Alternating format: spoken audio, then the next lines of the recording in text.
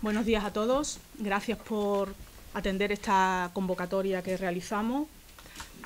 Ante la virulenta campaña de descrédito y falsas acusaciones que estamos sufriendo por parte del, tanto del presidente de Ausban, Luis Pineda, como de Manos Limpias, que antes de ayer anunció que había presentado una denuncia contra Rubén Sánchez y además acusaba a Facua de recibir subvenciones de UGT, el conjunto de las organizaciones territoriales que conforman Facua y que están hoy aquí representadas por su presidente a nivel nacional, por Manolo Bau, presidente de Facua Sevilla, y por mi persona como presidenta de Facua Andalucía, queremos dejar constancia pública hoy de lo siguiente. El conjunto de nuestra organización, refrendado en sus respectivas juntas directivas, apoyamos plenamente a nuestro portavoz Rubén Sánchez. Defendemos su honorabilidad frente a los ataques que está sufriendo y la campaña de desprestigio orquestada desde Ausban, su presidente, Luis Pineda, y ahora Manos Limpias, y que además aprovecha y hace extensiva a esta organización.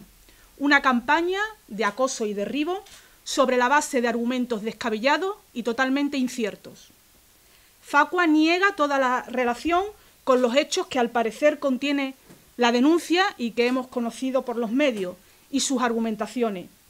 Y hemos empezado ya en el seno de nuestra organización a estudiar las acciones legales y judiciales que emprenderemos tanto frente a USBAN como frente a Manos Limpias en defensa de nuestra imagen y de nuestra honorabilidad y también, lógicamente, de la de nuestro portavoz. Ya presentamos en su día una demanda que sigue su curso por vulneración al honor contra Luis Pineda y seguiremos actuando frente a quien quiera dañarnos y frente a quien quiera desprestigiar la imagen de Facua y de su portavoz.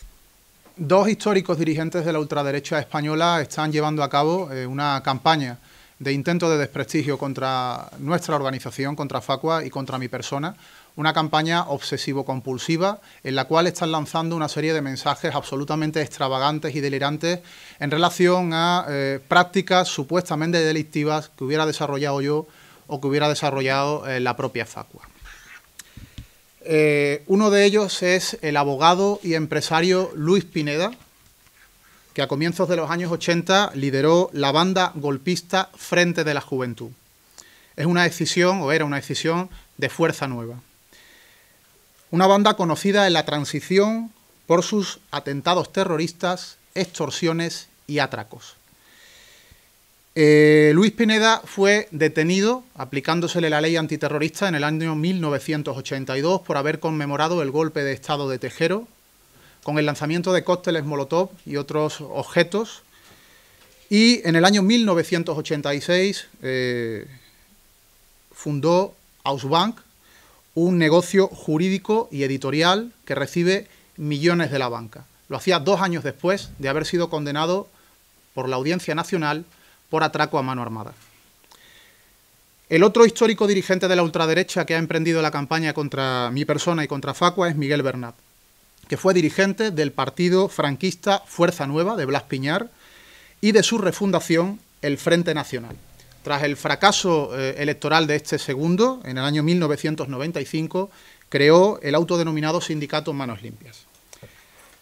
Luis Pineda y Ausbank llevan años utilizando sus cuentas en Twitter, sus revistas Ausbank y Mercado de Dinero y sus páginas web, así como sus intervenciones en medios de comunicación, para insultar y calumniar a Facua y a sus dirigentes. En una denuncia absolutamente descabellada, eh, Bernat eh, Manos Limpias da por válidas estas invenciones, carentes de la más mínima prueba, y afirman que he emitido facturas fraudulentas, inválidas a efectos fiscales, por trabajos imposibles de realizar por mí. Y vamos a explicaros las supuestas pruebas que utilizan Pineda y Bernat en sus argumentaciones y, por último, en la eh, denuncia que he presentado. Una de las dos supuestas pruebas utilizadas por Pineda en sus medios de comunicación y después por Bernat en su disparatada denuncia judicial es que una factura que emití en el mes de abril de 2010 al sindicato UGT Andalucía, que era uno de los clientes de mi agencia de comunicación, por el embolsado de su revista, carecía de NIF. Plantean que eso lo haría inválido a efectos fiscales, Pineda argumenta que he podido incurrir en fraude fiscal, etcétera. ¿En qué se basa para decir que he emitido una factura sin NIF? en una eh, imagen escaneada que publica el 19 de agosto de este año el diario El Mundo, donde borró mi NIF por protección de datos personales. El segundo argumento, utilizado por el presidente de Ausban y el de Manos Limpias, es que carecía o carezco de infraestructura para poder desarrollar ese trabajo. Plantea que no puedo ensobrar o no podía ensobrar y entregar en correos eh, unas 180.000 revistas eh, lanzadas por UGT, ya que no tengo, dice, una nave industrial, no tengo camiones, no tengo empleados que pudieran desarrollar ese trabajo. La posibilidad de que yo hubiese contratado para desarrollar ese trabajo a una empresa especializada en la materia se escapa del grotesco simulacro de investigación periodística que han lanzado las publicaciones de Luis Pineda y que eh, ha dado por válidas y utilizado en una denuncia el sindicato o pseudo sindicato eh, Manos Limpias. La fantástica historia creada por el presidente de Ausban y utilizada parcialmente por el de Manos Limpias para su denuncia también incluye la posibilidad de que los servicios facturados por mí a nivel particular y en mi actividad profesional ajena a Facua hubieran sido en realidad cobrados por la propia Facua a UGT Andalucía, en lo que según ellos constituiría una subvención encubierta. Para demostrarlo, eh, Manos Limpias esgrime que el nexo de unión entre Facua y UGT es algo más que una relación ideológica, porque el año pasado el exsecretario general de UGT Andalucía celebró con nosotros y con el secretario general de Comisiones Obreras una rueda de prensa para denunciar la amenaza de ilegalización que el gobierno de España había lanzado a Facua por criticar los recortes y la subida del IVA. Pero todavía hay más. En las últimas semanas, Pineda ha tuiteado en reiteradas ocasiones que Facua Sevilla ha cometido un fraude en un programa de asesoramiento a los inmigrantes subvencionados por el Ayuntamiento hispalense.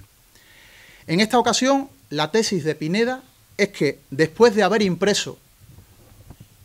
una serie de guías las habríamos tirado a un descampado. Para avalar esta nueva invención, el presidente de Ausban exhibe en Twitter una fotografía en la que aparecen en el suelo unas 70 guías, 70 de las 14.000 guías editadas por Facua Sevilla, y que hemos enviado para su distribución a los ciudadanos en más de 150 sedes de entidades e instituciones de la capital.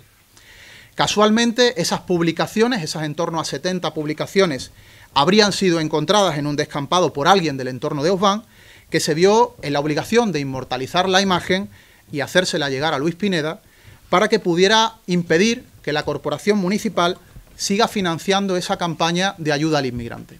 Y rizando el rizo del esperpento, Manos Limpias utiliza ese montaje en su denuncia para argumentar que la aparición de esas 70 revistas en un descampado es la demostración palmaria de la incapacidad que yo tengo para distribuir 180.000 revistas de UGT Andalucía. No es bueno que un negocio que dice ser una asociación de consumidores emprenda esas acciones, pero ellos mismos se retratan. Nosotros, desde luego, lo que tenemos claro es que nadie nos va a hundir, nadie nos va a asustar, a amedrentar, no nos vamos a dejar humillar, en primer lugar,